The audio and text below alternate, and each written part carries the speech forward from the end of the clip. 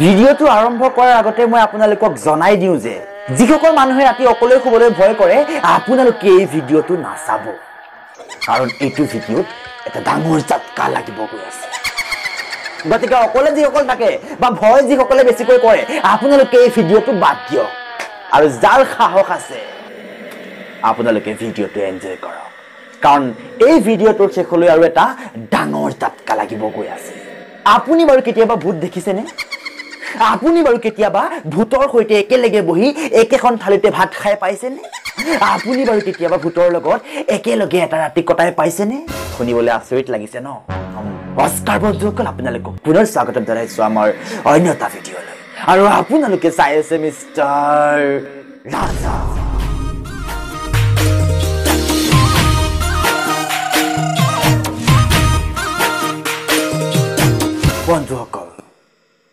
আপুনি বিশ্বাস কৰিবলৈ হয়তো টান পাব আপুনি বিশ্বাস কৰিবলৈ হয়তো অলপ কষ্ট হ'ব।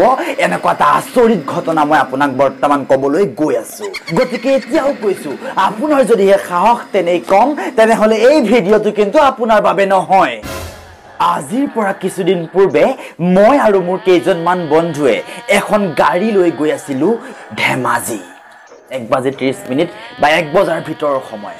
আমি গৈ আছিলোঁ। গাড়ীৰ মাজত হাল্লা চলি আছিলে। লগৰ কেইজনে খুব ফূৰ্তি কৰিছিলে।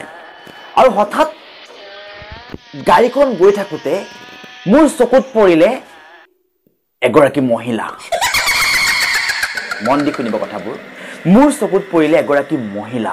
কিন্তু মোৰ লগত যিকেইজন আছিলে তেওঁলোকে একো মনিবই নোৱাৰিলে। তেওঁলোকে একো দেখা নাই। মই গাড়ীৰ আগৰ চিটত বহি আছিলোঁ আৰু মোৰ কাষত যিজন লগৰে গাড়ীখন চলাই আছিলে মই তালৈ চাইছোঁ তাৰ কোনো ৰিয়েকশ্যন নাই। সি গৈ আছে। কিন্তু মই দেখি আছোঁ এগৰাকী মহিলা। ৰাতি বগা সাজত। বিশ্বাস কৰিবলৈ টান পাইছে নিশ্চয়। কিন্তু মই দেখিছোঁ কৈ আছোঁ। যিগৰাকী মহিলা ৰখি আছিলে সেই মহিলাগৰাকী ৰাস্তাৰ ঠিক সোঁমাজেৰে ৰৈ আছে আৰু আমাৰ গাড়ীখনো সোঁমাজেৰেই গৈ আছিলে। আৰু ঠিক খুন্দা মাৰো মাৰো মাৰো মাৰো অৱস্থাত মই লগৰটোক ক'লোঁ ব্ৰেক মাৰ। ৰখাই দিলোঁ আৰু ই ৰৈ গ'ল। সি তেতিয়া ক'লে যে কিয় ৰখাইছ? মই আচৰিত মুখৰ আগত কিন্তু সেই মহিলাগৰাকী ৰৈ আছে। তেতিয়ালৈকে মই কল্পনা কৰিব পৰা নাই সেই মহিলাগৰাকী কোন হ'ব পাৰে। তাক মই সুধিলোঁ মানুহজনী ৰৈ আছে দেখা নাই জানো? সি কৈছে কোনজনী মানুহ? সকলো সকলো আচৰিত মোৰ কথা শুনি। মই সিহঁতকো সুধিলোঁ যিকেইজন লগৰ পাছফালে বহি আছিলে সিহঁতকো সুধিছোঁ যে এই মানুহজনী ৰৈ আছে তহঁতে দেখিছনে? সকলোৰে মাত্ৰ এটাই কথা যে কোন মানুহ? আমিতো কাকো দেখা নাই। ভাবি চাওক কেনেকুৱা হ'ব লাগিব ঘটনাটো? লগৰ কেইজনে দেখা নাই কিন্তু মই দেখিছোঁ। সেই মহিলাগৰাকী লাহে লাহে মহিলাগৰাকী আহিছে।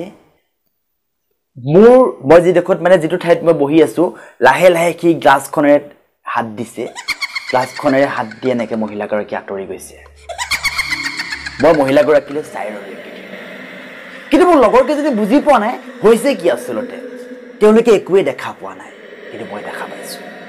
মই কেনেকৈ দেখা পাইছোঁ? লগৰ কেইজনে বিশ্বাস নকৰিলে সেইটো সময়ত। মোৰ ভ্ৰম হৈছে কিবা হৈছে এনেকৈ ক'লে। লৈ গ'ল কোনো কথা নাই। গৈ পালোঁ আমি। ঠিক তিনিমান বজাত আমি গৈ আমাৰ ৰুম পাইছোঁগৈ। যেতিয়া আমি ৰুমত সোমালোঁ ৰুমত সোমোৱাৰ ঠিক আধা ঘণ্টামানৰ পাছতেই লাহে লাহে ৰুমৰ ভিতৰৰ পৰা কিছুমান শব্দ আহিব ধৰিলে। কিন্তু আচৰিত কথা যে এইবোৰ শব্দও কেৱল ময়ে শুনি আছিলোঁ। মোৰ লগৰ কেইজনী কিন্তু একোৱেই শুনা নাছিলে। কি আচৰিত। আমি সকলো শুব ল'লোঁ। ৰুমৰ লাইট একেবাৰে শেষত মই অফ কৰিব গ'লোঁ। আৰু যেতিয়াই লাইটটো অফ কৰিলোঁ তেতিয়াই মুখৰ আগত আকৌ সেই মানুহজনী আহি পৰিল। সেই মানুহজনী মোৰ মুখৰ আগত পুনৰ আহি পৰিল। এক বেলেগ দৃষ্টিৰে মোক চাবলৈ ধৰিলে।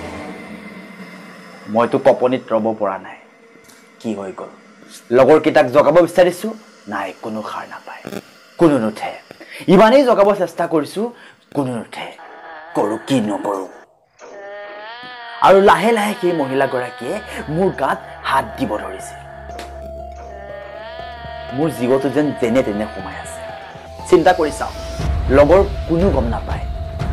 লাইট অফ কৰি দিলোঁ আন্ধাৰ হৈ গ'ল আৰু মানুহজনী এগৰাকী বগা সাজ পিন্ধি মোৰ মুখৰ আগত ৰৈ আছে। মই চিঞৰিব চেষ্টা কৰিছোঁ লাহে লাহে মোৰ মুখৰ মাতো নোহোৱা হৈ থাকিলে। পিছলৈও যাব নোৱাৰা হ'লোঁ মই আগলৈও যাব নোৱাৰা হ'লোঁ। মই লৰ চৰো কৰিব নোৱাৰা হ'লোঁ। আপুনি কল্পনা কৰক কেনেকুৱা লাগিব লাগিব। কেনেকৈ জীয়াই থাকিব পাৰিব আচলতে সেইটো সময়ত আপুনি কেনেকৈ নিজক সান্তনা দিব। তাৰপাছত কি হ'ল কাহিনীটো? সেই মানুহগৰাকীয়ে এটা টিং যিবোৰ পানী খোৱা টিং পানী অনা টিং যে থাকে যে মানুহৰ ঘৰত ষ্টীলৰ এটা টিং সেই টিংটো তেখেতে লৈ আহিছে। মানে হঠাৎ এনেকৈ তলৰ পৰা টিং এটা উলিয়াইছে। আৰু উলিয়াই সেই টিংটোৰ পৰা কিবা মোৰ গাত এনেকৈ দলিয়াই দিছে। মোৰ গালৈ মানে দলিয়াই দিছে। টিংটো নহয় টিংটোত অলপ পানী আছিলে। সেই পানীখিনি মোৰ গাত দলিয়াই দিছে। এই বগা সাজ পিন্ধা মানুহজনীয়ে। মোৰ লগৰকেইটা কিন্তু গমেই নাপায় একো। সিহঁত আছে। আৰু যেতিয়াই পানীখিনি দলিয়াই দিলে তেতিয়াই মোৰ হঠাৎ চকু দুটা বন্ধ হৈ গ'ল। আকৌ চকু দুটা মেল খাই গ'ল। আৰু চকু দুটা মেলি মই দেখোঁ। ৰাতিপুৱা মায়ে মোক জগাই জগাই উপায় নাপায় পানী ঢালি দিলে। উপায় নাই মানে এইটো ডাঙৰ এটা সপোন আছিলে আচলতে গতিকে আপোনালোকৰ লগত শ্বেয়াৰ কৰিলোঁ। যদিহে আপোনালোকে আজিৰ এই সপোনটো চাই কিবা বোলে আজিৰ এই ভিডিঅ'টো চাই জীৱনৰ অকণমান হ'লেও আনন্দ উপভোগ কৰিলে তেনেহ'লে প্লিজ লাইক কৰিব কমেণ্ট কৰিব আৰু আমাৰ চেনেলটো ছাবস্ক্ৰাইব কৰিবলৈ কিন্তু একেবাৰে নাপাহৰিব। আকৌ এটা নতুন ভিডিঅ'ৰ সৈতে আপোনালোকক পুনৰ লগ পোৱাৰ প্ৰতিশ্ৰুতিৰে দিলোঁ এৰিলোঁ।